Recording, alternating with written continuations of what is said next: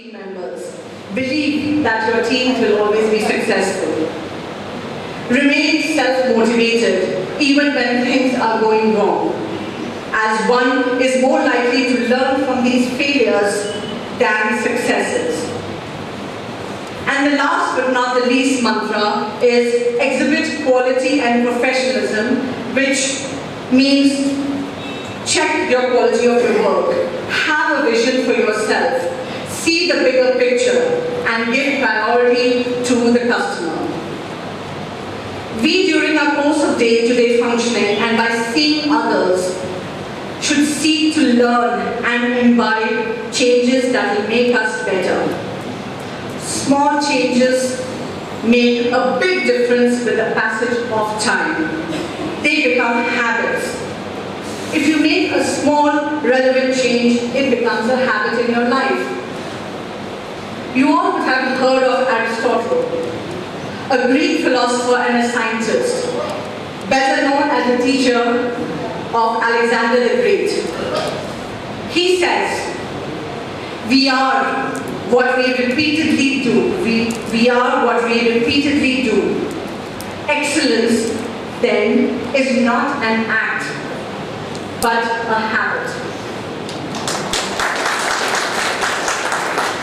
Once you find a successful path, you must stay on it and guard against veering off it. This applies to the idea that an airplane, as it travels, follows vectors that take it to its destination. If the plane veers even slightly off its path, it would end up thousands of miles off course. Each person individually travels a vector, a path through life and reaches a destination based on the choices they have made through life. In the end, I would like to say, living a good work life and a good family life have parallels with living a good spiritual life. All take discipline, hard work, and pursuit of a path towards excellence. The will to win, the desire to succeed, the urge to reach your full potential. These, ladies and gentlemen, are the keys that will unlock the door to personal excellence. Thank you for giving me the time.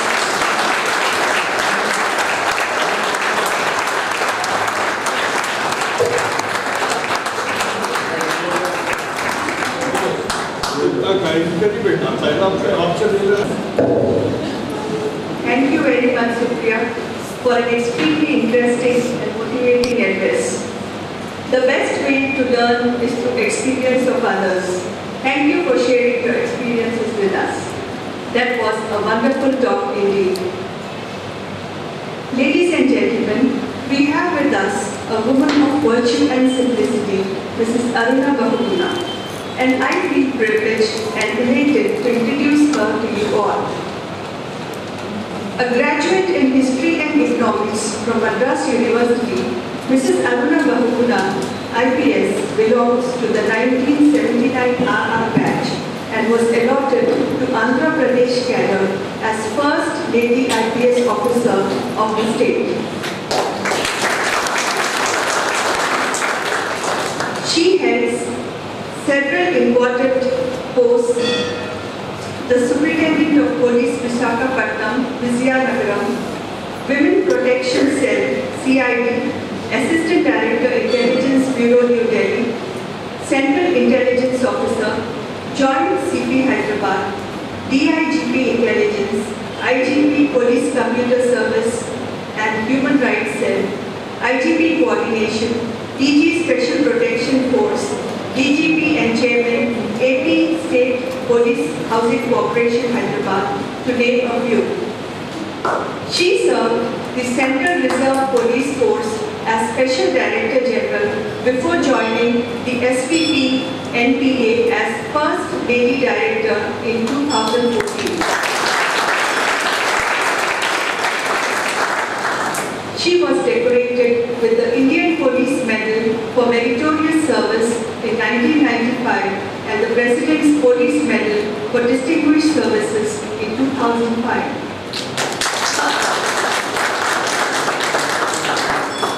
Her hobbies include Western classical music, playing, playing piano and guitar, poetry and philanthropic activities. She is a keen golfer and also takes part in many outdoor activities. Mrs. Aruna Bahuguna is a living inspiration to all of us and without further delay, I request Madam to address the gathering.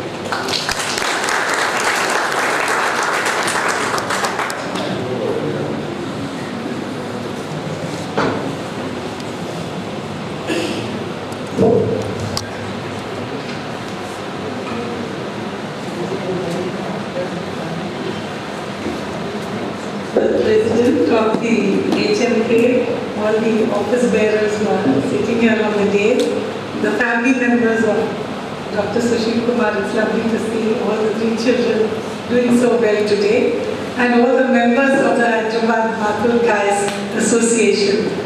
Uh, thank you, Vima, for that lovely uh, introduction, very flattering introduction.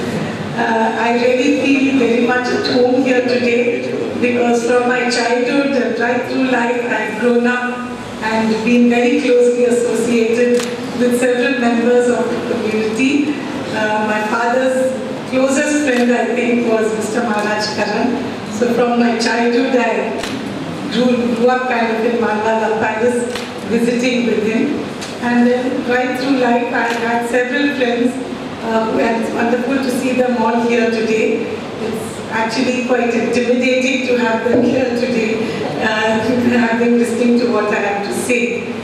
Uh, Dr. Sushil Kumar was really, Mr. Sushil Kumar uh, was a wonderful leader and uh, I think uh, you missed saying that he was actually the Director General of the state, not just of the Anti-Corruption Bureau, he was the DG of the Andhra Pradesh Police. Uh, that is the head of the whole state. Uh, when I joined and I was under training, my first DIG before I was even a regular ASP was Mr. Tuljaraj, uh, also a member of the community and I was very happy to see his photograph downstairs uh, in the hall. And he was known, everyone knew him in the police because he used to very proudly say that, you know, the pips which we wear on as IPS officers on our shoulders, his were real silver. And he would say that uh, I'm a Mathur and mine are real silver. Uh, the rest of were, I don't know what, aluminum or or something like that. Uh, and then um, when I joined really, I was, I had studied in a very sheltered girls' school and even worse, even more sheltered girls' women's college in Chennai. And suddenly I joined the IPS and uh, in the National Police Academy where we all start, I was the only girl in the batch. Uh, we had, my batchmates, we were about 50 odd who were selected for the police. The entire staff, the faculty, everybody were gentlemen. There was no lady um, anywhere on the campus, I mean teaching us. So it really was a big challenge. But right through, I think that what really sustained me and what held me up was the encouragement of the male colleagues. I mean, and never at any point did they try to put me down, never did they try to discourage me. Of course, as uh, you have also mentioned, there would always be the one odd ball here and there who would be extremely jealous and who would try to say things to kind of, always try to say things to demean you and try to get you out of the race. But I think that just added to the fun of it and it became more of a challenge because then you had to prove yourself doubly to show that yes, I can do it as well as you. In fact, any time when women work, I find that they have to work doubly hard to prove themselves. If a woman makes a mistake, I found when if I made a mistake in my career, at any time, I'd like, oh, after all, she's a woman. What else do you expect? And then that sort of gets you so charged up that you have to go out and do and you know prove that you can do it as well, you can do it better. Uh, Dr. Su- Mr. Sushil Kumar, when I went through a very hard time uh, in my personal life, he uh, specially flew to Delhi to come and uh, visit me and I was so touched by his visit as he was DG of the state. So as DG of the state, he, flew all the way to Delhi just to come to visit me, to console me. And uh, I'll never forget one of the stories you mentioned, uh, it brought back since you mentioned it now, was when um, Alexander the Great, he was very close to his mother.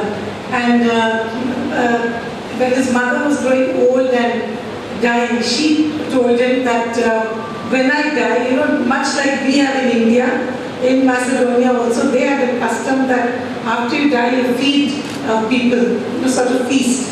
And she said that when I die, I want you to go and feed, uh, give food only in a house where there has not been any problem or any sorrow.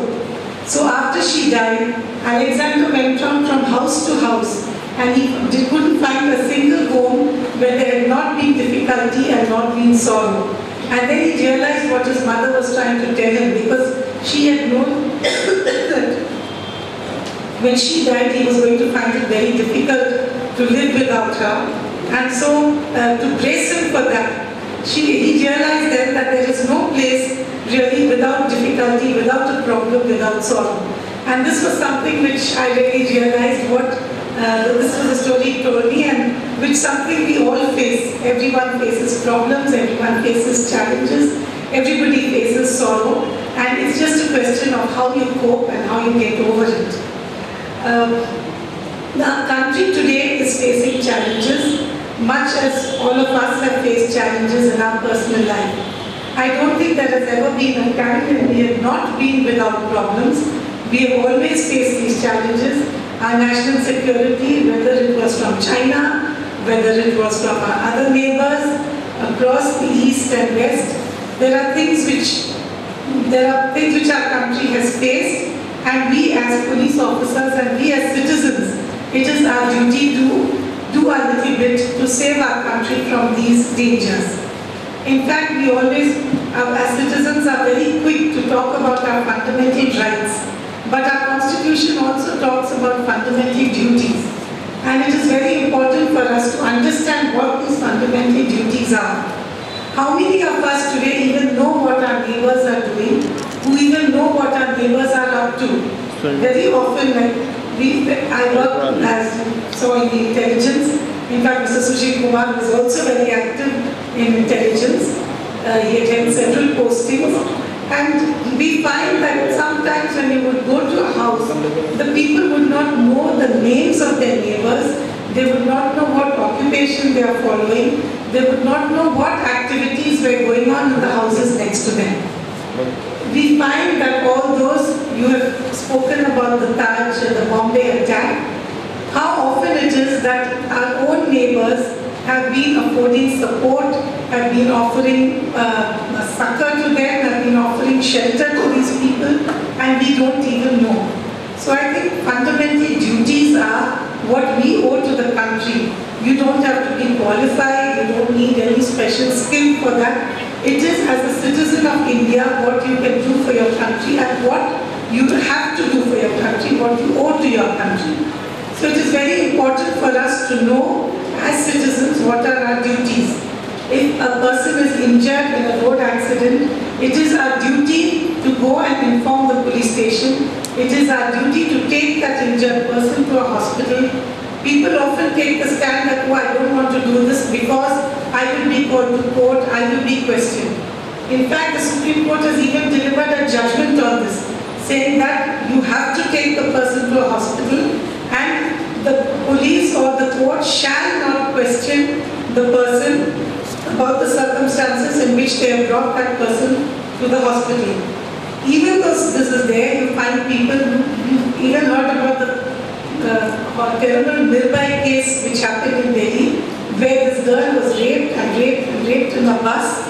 She was thrown out naked on the road in the cold in Delhi with the boy and so many vehicles went past but nobody stopped, nobody bothered to even offer any kind of relief.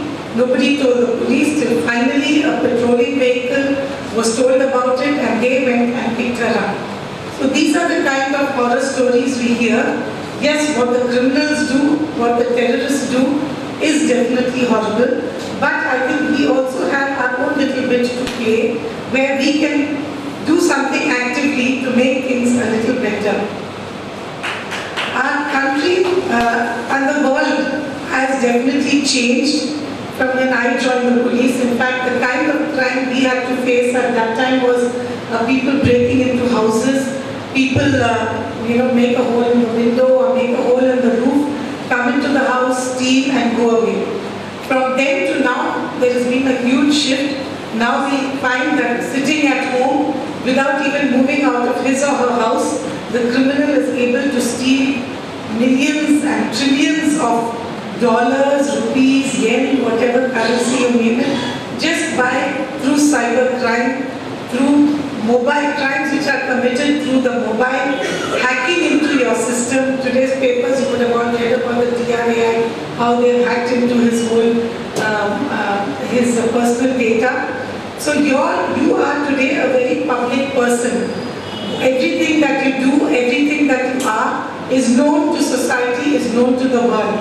Even more and more with the linking of, you know, with the Aadhaar card coming up, with your mobile data, whatever you can do. In fact, one, when we conduct courses on uh, the mobile phone and your kind of data you uh, reveal to others, we have had cases where even a police officer, a very senior police officer, in fact, was once duped.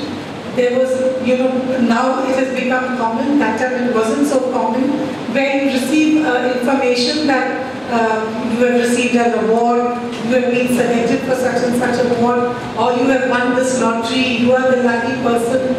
To receive this prize, you pay a small amount of 100 or 200 dollars and they make it sound like they're writing from you know foreign countries, so 100 and 200 dollars is a very small amount. Send it to us and you will get your prize. This was a police officer was told that she had won an award. She paid the amount. Um, she began celebrating the award and then a few days later it came out that it was all a big hoax. Till today, though people are warned against this repeatedly. In fact, day before yesterday, one of the uh, a person very well known here in Hyderabad has gone through the same thing. He was told that uh, he has won an award, uh, he will be getting something free and to pay this amount and to pay it, he, they ask for his bank details. He has given, though the bank keeps sending, all of you would have received these SMSs and uh, emails from him saying, do not read, read all his details and within minutes he found that money was being withdrawn and by the time he told the bank his account was almost totally empty. So these are the kind of challenges, this is how the world has changed. Uh, in fact, I keep comparing, I was, um, as you heard, the director of the National Police Academy. The National Police Academy trains all IPS officers, not just when they join, from their joining right to DGs, even DGPs of states come to the police academy for their training. In fact, for the first time when I was there, even at the Prime Minister came and spent three whole days at the police academy, only to uh, uh, at a workshop that we had with the DGs at the annual conference. I keep saying how when we would go to a place when we were youngsters, the first thing we would ask is pani hai kya? Most important thing would be, is there water in this place? Whether drinking water, bathing water, but we would want water. But as director when I would go with our probationers to any place, the first thing they would ask is, यहाँ का Wi-Fi का password क्या है? So this is the kind of change which the world has gone through. Everything is now on the net. Everything is extremely public. Everybody wants their lives to be known. Uh, when I go out with my children anywhere, the first thing they do is we have to log in and we have to tell people where they are. They have to go on to Facebook, they have to go on to Instagram, they have to tweet and say we are at such and such a place, this is what we are doing, these are the people I'm with. So life has become much more public than what it was. When we joined service, we were told that you are no longer a private person. Everything, all your habits, everything about you is known. And I learned that really very fast. Because the orderly in the house would immediately go out. As soon as you join, people would ask, what does madam do? What time does she wake up? What time does she sleep? What time does she eat? And the moment they know what you like to eat, your favorite dish, wherever you go, you would only get the same thing to eat. And for some time I would wonder why I wasn't getting anything else till I realized what was actually going on. So we were told very early in our lives that yes, you are no longer a private person. everything you do is known to everybody around you. And we were taught that be careful with all that you do. Today I find again things have changed a lot. We were told to stay away from the media. We were told don't, you know, you can never be. One of the first things we were taught was that you can, if you have to be a good police officer, you cannot be a popular police officer.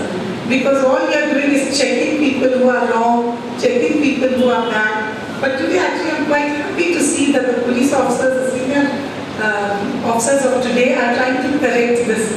One of the first stories, an apocryphal story I was told when I joined was that a dead body was found uh, lying, uh, unidentified dead body was found lying in the village.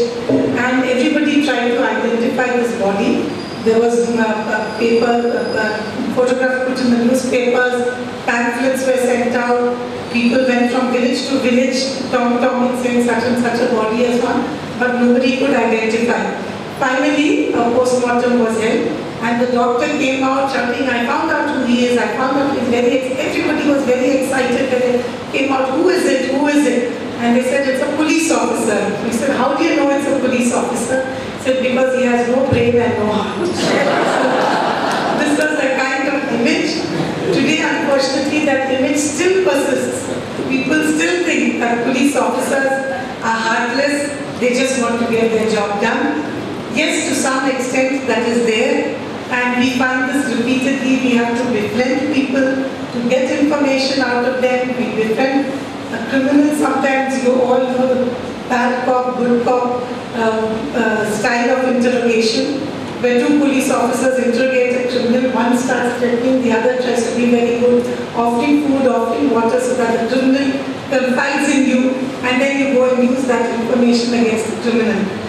But one thing I found that as a woman police officer, yes, being the first had its advantages and its disadvantages. It was extremely difficult. There were senior officers who would often say, why did you come? This is why we don't want police women in the job. They only want, this is, I took maternity leave twice in my career. I have two sons. Those days maternity leave was three months. And first time I took leave, when I went the second time, the then DG said, again. So I said, this is just the second time. There were people who men officers who would take leave for months together. But this was three months and three months and this was the kind of reaction. But one thing I found that hmm, in India, maybe because we have the concept of goddesses, the concept of Shakti, I think that public in general uh, respect women and when they see a woman in power, they expect that woman to only be correct. They are very intolerant. If a woman does something wrong, and when I say wrong, it's not a, uh, I'm not talking of a mistake professionally, I'm talking of a mistake of integrity. The public does not tolerate it. And so this was something which I found very, uh, uh, you know, like a guiding uh, principle for me right through my service. People look up to you, they expect you to serve them, they expect you like a goddess, they always expect you to find a solution for them. And I found a lot of the time when people came to me with their problems, maybe I was not able to find an answer for them, maybe I was not able to find a solution. But just giving a sympathetic ear, a sympathetic shoulder for them to try on was enough. So this is something for all of us as members of society. Today, everyone is in a hurry. Everybody has somewhere to go. Social commitments have become huge. Hyderabad as a city, you find has spread so much. People have to attend the wedding in Gachibowli, go across to Imperial Gardens for a birthday party, come back to somewhere beside Uppal and those farmhouses for a farm party. So everybody is always busy rushing around. Everyone is trying to push their children, driving their helicopter moms who are taking their children from dance class to sports uh, match to tuition to coaching to all kinds of things. But in the middle of all this, I think we need to take some time off to look inwards to see where we can offer help to somebody who is in trouble. Look and see where we can offer a word of comfort. And you will find that, as I said, Mr. Sushil Kumar took the time to come to Delhi when I had a difficult time, all the way from Hyderabad. And that is really what makes a leader. When a leader takes the time off, puts in that much effort to take a special flight and come all the way just to offer some words of comfort to you. You will, you will always owe your loyalty to that person. You will always admire that person. And it is something which will last with you for life something which I find, uh, I keep saying wisdom, knowledge changes, but wisdom never changes through the ages.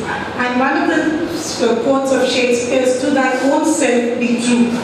So there will always be people judging you. There will always be people commenting on what you do, how you work, how you have performed your duties. But the best judge is of, of yourself is you yourself. You know what you have done, whether it is right, whether it is wrong. If you have hurt someone, whether you have hurt them, whether that can be justified, whether it cannot be justified. So whatever you do, look inwards.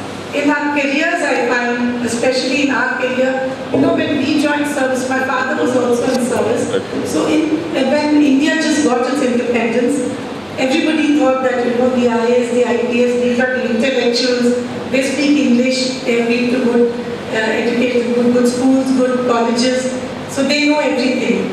So politicians included looked up to these people and whatever, I mean, they said, they listened. And I also find that the political leaders of those days, when I joined service, listened to what we say. It was very easy to disagree. In fact, most of the time we disagree with our political bosses because what they had in mind and what we had in mind were very often very different. They did things with their popularity in view.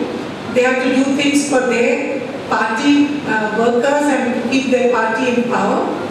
We did things according to the law. And when we explained it to them, they understood. And not only did they understand, they appreciated it. Gradually, since independence, these politicians have come to jail. I hope there are no politicians here. I'm very happy that there's no media here so I can speak from my heart and not be quoted in tomorrow's newspapers. But the politicians of today have realized that they are the bosses. They have realized that they hold the key and they transfer and post officers at their will and power. Though Supreme Court may give guidelines, though anybody may give guidelines, they will not allow police reforms to come into place. They will not allow the law to be changed. And today they realize they are the bosses.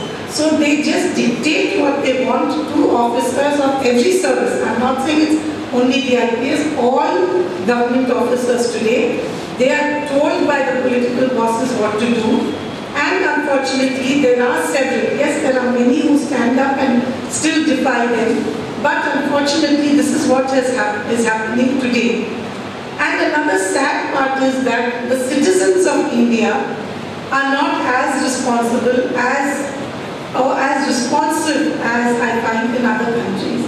In Western countries, we find that the citizens are so conscious, whatever happens, everything comes out publicly.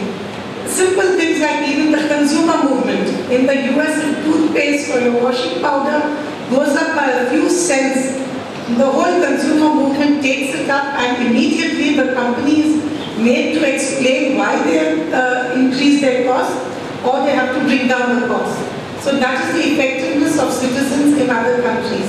Unfortunately in India, though people very often know what the truth is, they never fight, they never come out openly, everybody is cowed down by this. I'm not trying to take away from the you know, the responsibility of government officers. We have cases today where uh, uh, uh, if someone commits a crime eh, and everybody knows that say X has committed the crime, the chief minister tells the officer that X is a member of my party, don't book him in the case.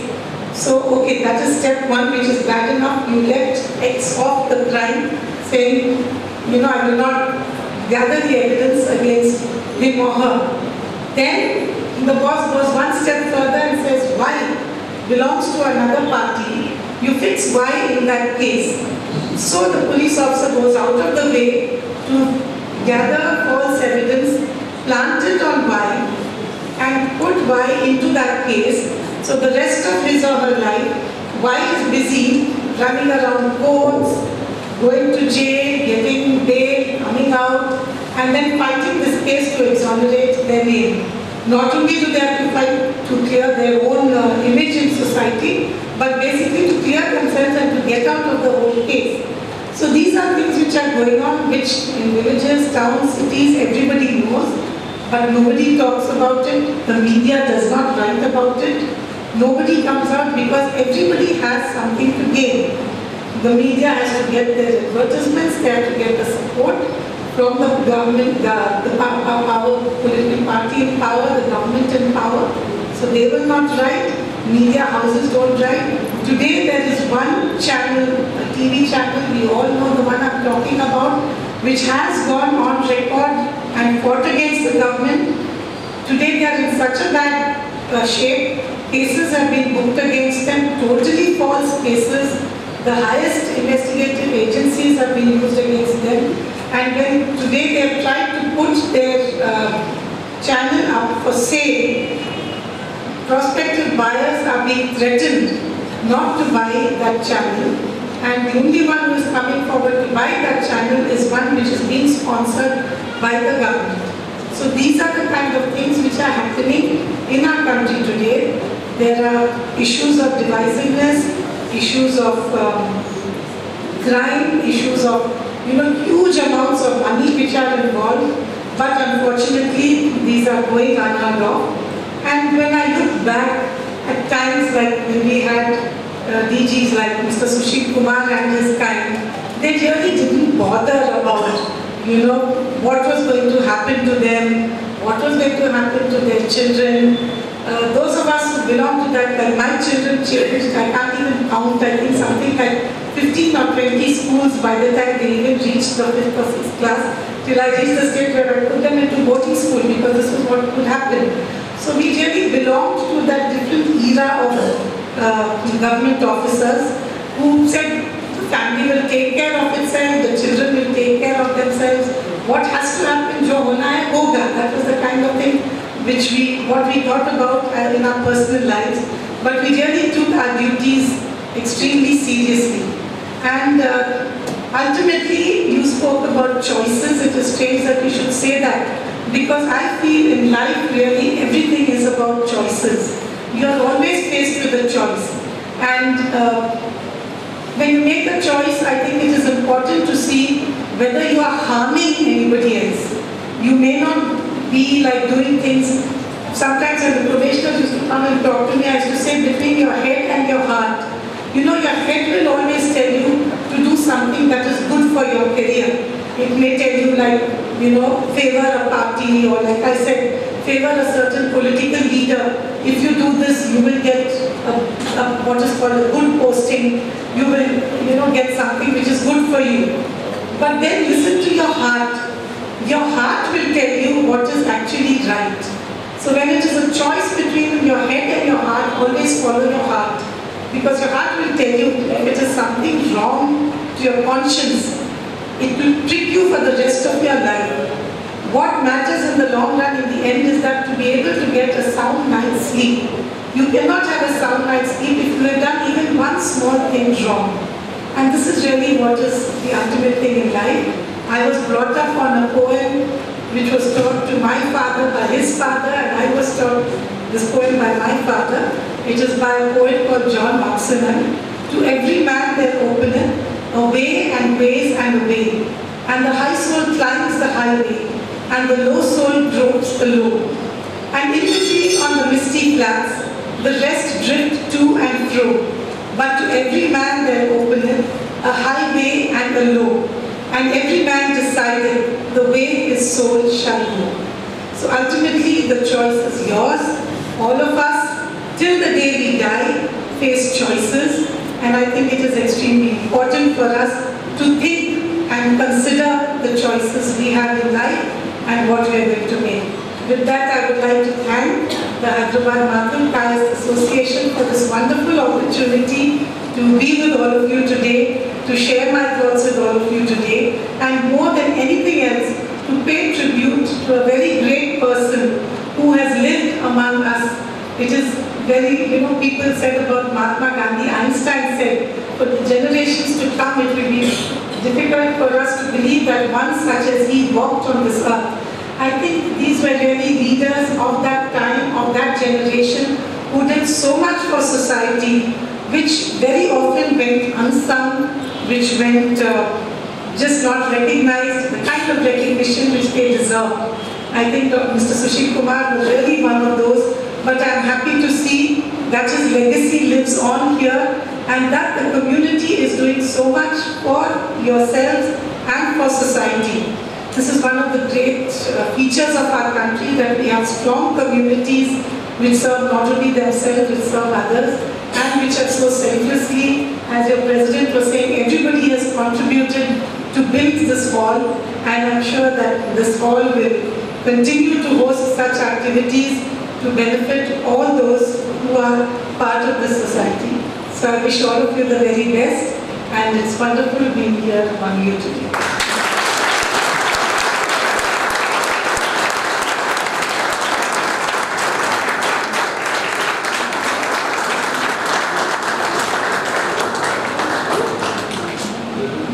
Nothing can be more enlightening than listening to a great speaker.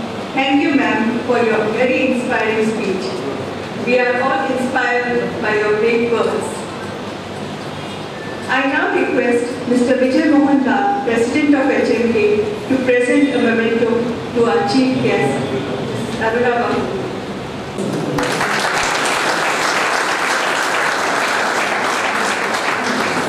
you, sir.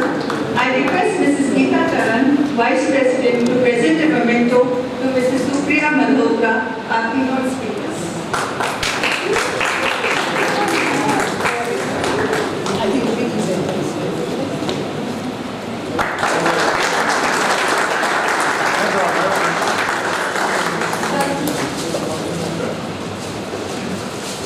Thank you. We will now have the profile release function.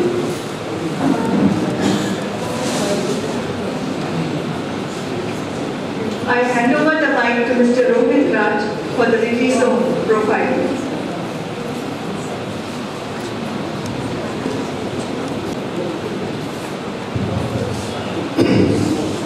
Uh, Good evening, uh, ladies and gentlemen, and uh, ladies and gentlemen of the dais, our chief guest, good evening, uh, Mr. Aruna Bahuguna, who has been uh, more or less a member of our family for a very, very long time.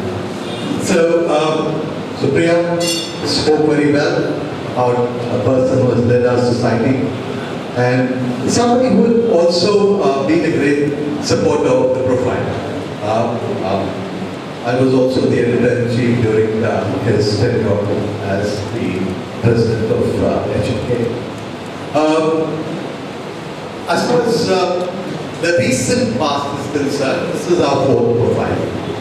And uh, every time we are very, very thankful because it has been uh, sponsored by the families of some very distinguished people, beginning with my uncle, uh, late uncle, Premraj Mathur, uh, a former civil servant.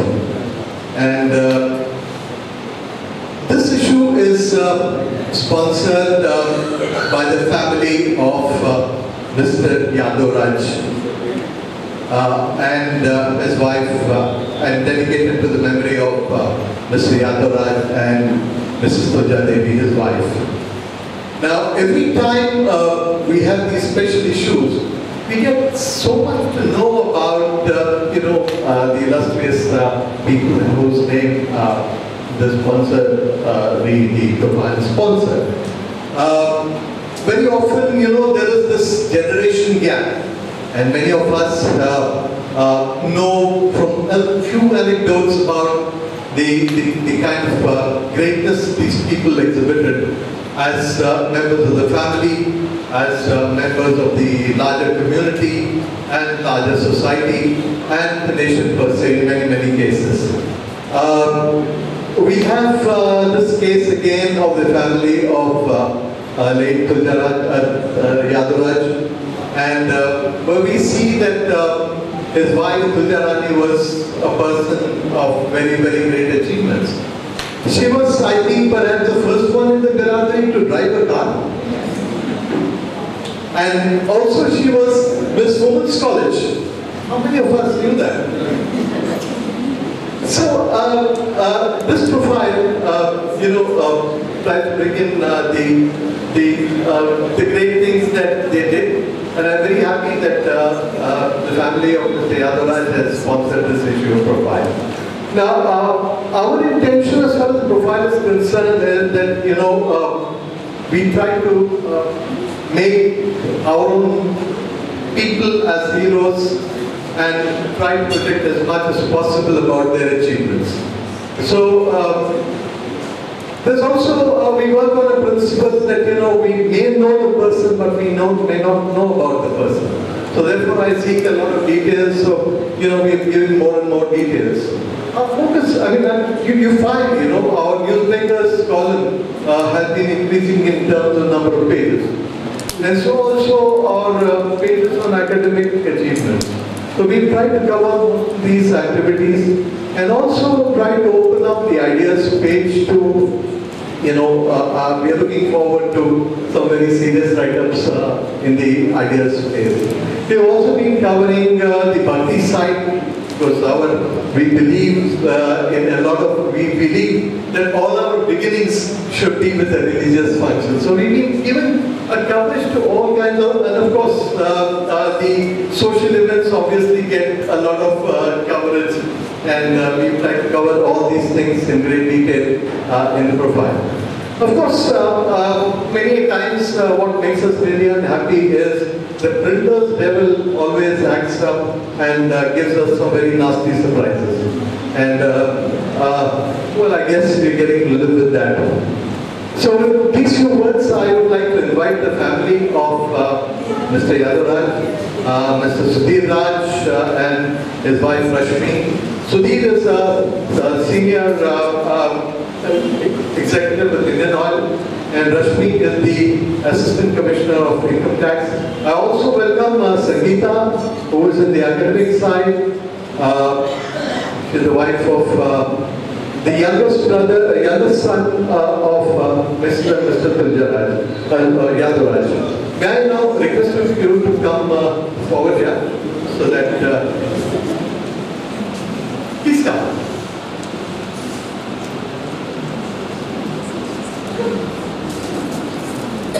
All of you would like to release the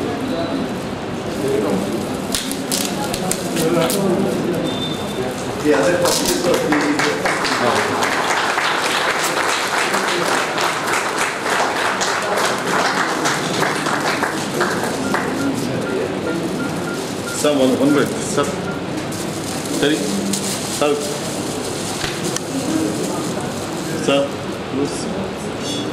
Ah, yes. Uh, I would like the other members of the uh, profile uh, subcommittee to join us here, please.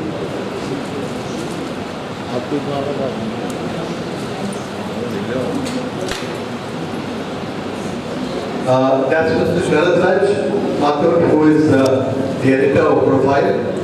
Uh, Nilesh uh, is, uh, Nilesh Mathur is on the editorial board. I don't see Mr. Vishwaraj, I thought I saw him some time back. Yeah, there he is. And uh, where are the others? Uh, okay, Mr. Jayant Kumar is not here, Mr. Pradeep Kumar Mathur is not here. What about, uh, all right, okay. So, uh, thank you very much, uh, uh, ladies and gentlemen, all from uh, us. So, would you like to say a few words? Uh, uh, may I request Sudhir to say a few, few words, please? Good evening, uh, dignitaries sitting on the dais, President of the HMK Society, Mr. Vijay Mohanlal, the Vice Presidents of the Society, Dr. Dinesh Geeta, Geeta Karan, and the Chief Guest of the evening, Mrs. Aruna Bahuguna, and my cousins, Dr. Sajid, Supriya, and the conductor of the program. Very good evening to all of you, first of all. We are greatly indebted to the Profile Subcommittee for agreeing to publish paid tribute to our dear parents on, on this occasion. We are very much thankful to the Profile Committee, particularly to Rohita, for putting us, putting these things putting the material and putting the material and the photographs together and to bring out this wonderful profile in front of you. Please give a big hand to. For those who do not know us, I would like to briefly introduce ourselves who have released the profile on behalf of our family. My name is Sudhir. I am the fourth son of Yadavraj and Dunda Devi, as I said. I have been out of Hyderabad for almost three decades. After 35 years, I have come back to Hyderabad. I work in Indian Oil Corporation, presently working as a senior terminal manager. I am responsible for supply of petrol, diesel, kerosene and aviation fuel to the entire state of Telangana. My base is at Cherlapalli. From there, Cherlapalli depot, we are supplying 1,60,000 kiloliters of fuel in a month to the entire state of Telangana. Indian Oil, as you know, is a market leader, having more than 65% of the market share in fuel business. Standing to the left is Rashmi Mathur. She has been with me for almost 31 years. She is also a working wife. Presently, she is working in Income Tax Department as a Deputy Commissioner in Aayakar Bhavan, Bashir Bagh, Hyderabad. We have both, after spending three and a half decades in Bombay, Panipat, and Jaipur, we have come back to be at, in our roots at Hyderabad, and it's a great pleasure to visit the great Sushil Mathur Bhavan and in Hyderabad and to be amongst all of you this evening. And another lady who is sitting here, may standing next to us, Sangeeta. She is also an educationist. She is teaching in Hyderabad's most famous school, Gitanjali at. Thank you all for being with us this evening. There's uh, uh, one more pleasant task to do. Uh, you need to release the key profile also. Uh, may I request the ladies to release it now? Yeah. Right, Rashmi and Sangeeta, please.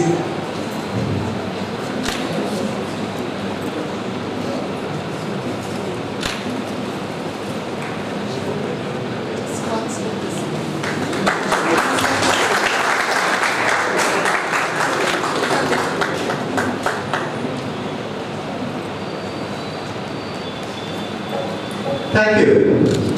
Ladies and gentlemen, thank you very much for indulging us.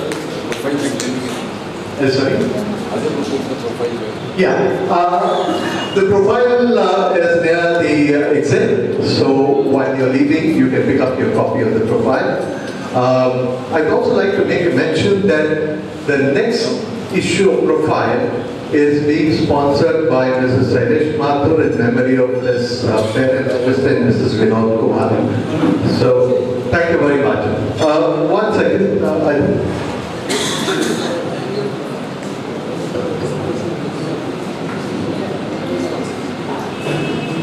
Would you like to make the announcement yourself?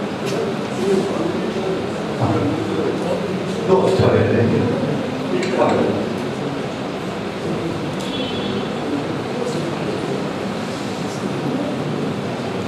Thank you, Mr. Rohit. Uh, I now request a very dynamic and enterprising Vice President of HMK to propose the vote of thanks.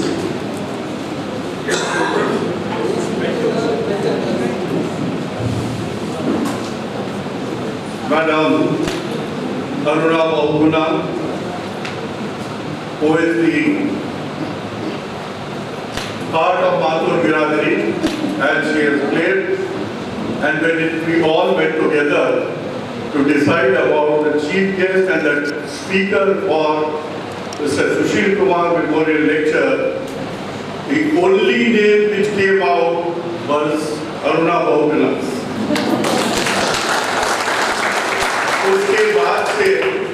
جب ہم جس کو بھی بولے کہ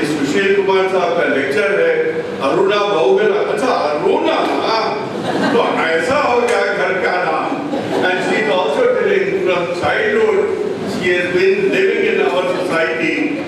I'm just wondering why she has not come into our Virajani.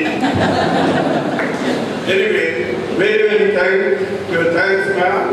You have come, enlightened us, and as usual, your lecture is excellent, and there is no words which I can use in the dictionary to praise you.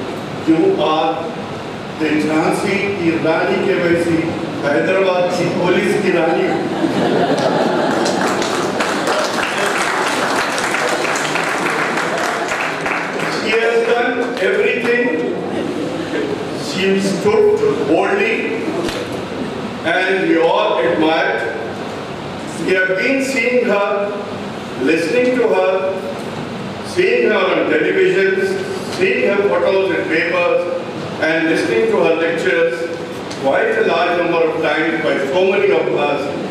And she has today once again proved that she is the best. And we are happy that she is from Andhra Pradesh, she is from Hyderabad, she is from us, ours So Telangana, very very pride and sister, अब क्या है garment service से retirement तक Andhra Pradesh what you said, the problems which we face, we and I, that we used to teach the higher what is what I was as the director of the AIDS control project we started. We used to teach these people and in the review meetings, they used to question us. So that was going on. Anyway, we are very happy that Aruna Bahuguna is here with us and I request all of you to give her a big hand please.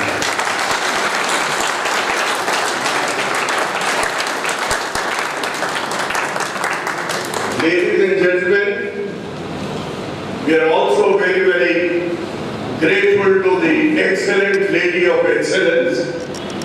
She has really talk so much. When she wanted to start her career by just marrying.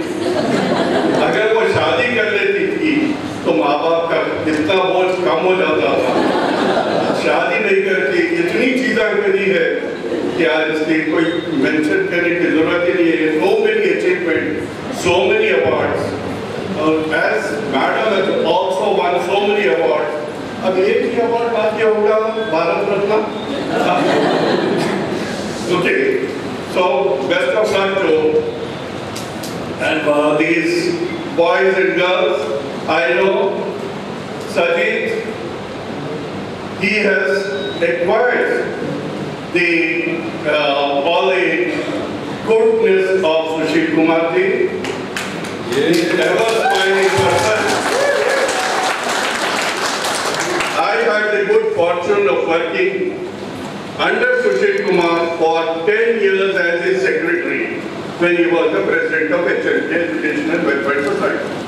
And you know what a meticulous man. I was always telling साहब मैं doctor हूँ कुछ भी लो ऐसा करना पड़ता अगर agenda में भी एक चीज ऊपर आ गई तो फिर बोलते थे फिर से भी जाओ उसको नीचे डालो ये एजेंडा का पॉइंट ऊपर करो ویسے میٹی کھڑا سادری کے ساتھ کام کر کے بہت سیکھے اتنے اچھے ہیں اور ہمارے سینئر ہمارے ماما لوگ بولتے تھے سوشیل کمار کے بارے میں جینٹل مین پولیس مین بولتے اور ایور سمائلنگ پولیس مین ہیں اور آلویز یوز ٹو سمائل۔ کبھی نہیں دکھتا تھا کہ انہوں پولیس کے डंडा मारने वाले आदमी हैं मगर he was a very strict officer and during our working also he used to be very strict, very stern but polite and always appreciative, picks up the people from nowhere and put them on the pedestal. That was Sushil Kumar the Great.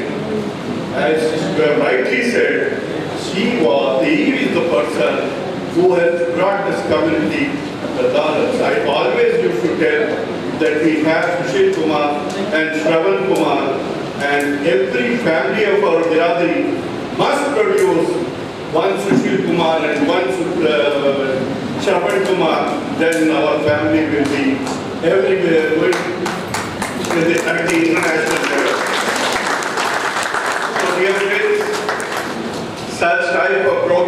Going on and you all are coming, encouraging us. We are very grateful to Mr. Yadavraj's family for sponsoring Profile.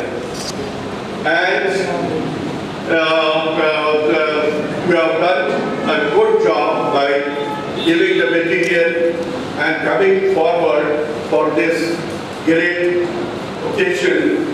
I'm also thankful to Sushil Kumar, his family, the, both the sons and daughters are sitting. Please stand up, at least somebody should see.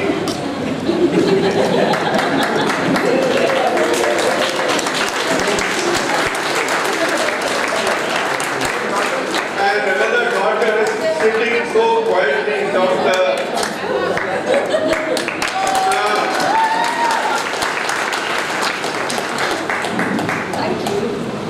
And dear friends, I know Sushil Kumar from his very, very young days when he was newly married because Veena Mathur was my teacher in Gandhi Medical College. So, every day at 4 o'clock, Sushil Kumar Saab's vehicle used to come to Gandhi Medical College to pick his wife. Madam is busy in class, so sometimes I used to go and talk to him, sitting in his car, Fiat car, blue colored car, 444 number, समझ जाते थे सुशील कुमार साहब की गाड़ी Veena madam के लिए आ गई और madam was the most beautiful teacher we had up till now. और जब तो वो बहुत ऊपर रहती थी हम नीचे रहते थे और कुछ लिखा भी So we are very thankful to all our Biradari members for coming, attending. We request you to please come and attend, use this hall regularly and इतनी शान जो हॉल की दिख रही है आज वैसी बनाए रखिए and I thank our president, he will come out with good ideas and Vibha has done an excellent job. Very three years to Vibha. جو اتنا اچھا اکیلی بیٹھ کھڑے رہے کہ کام کے لیے ہے۔ اور ہم لوگ خوش ہیں تمہارے کام سے۔ اور تھوڑا ریفریشمنٹ بھی اچھا ملا جو and profile committee as usual have done their job on time and it profile looks good on face اور later on later on inside also will be definitely good because it is Rohit Raj so اگر ہم کسی کو بھول گئے ہیں غلطی سے تو معاف کریے اور ضرور آئیے thank you very much we are also grateful to our former president doctor Ravi Kiran please stand up sir people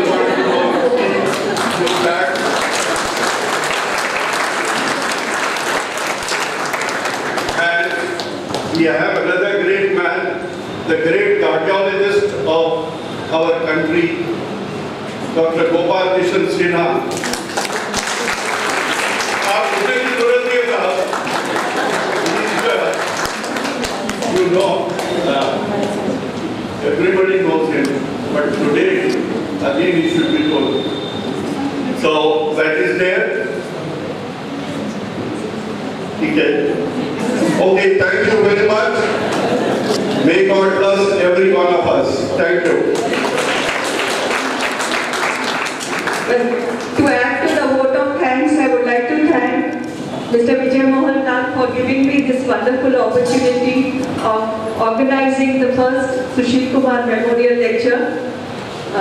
Confess, sir, that uh, in January when you gave me this responsibility, I was very apprehensive, but thanks to the help and guidance received by many of the members of the managing committee, Mrs. Suchitra Kanda, uh, Mrs. Asha Kumar, and Mr. Mohe, and Dr. Sanjeev Kumar, and Mr. Kiran Kishore, uh, Mr. Vishnu they all helped me a lot. And uh, Mr. Jayant Kumar, who is not here today, but he's monitoring the arrangements from Mumbai. So I'm really thankful to all these people who have helped me a lot in organizing this program and making it into a successful one. Uh, now that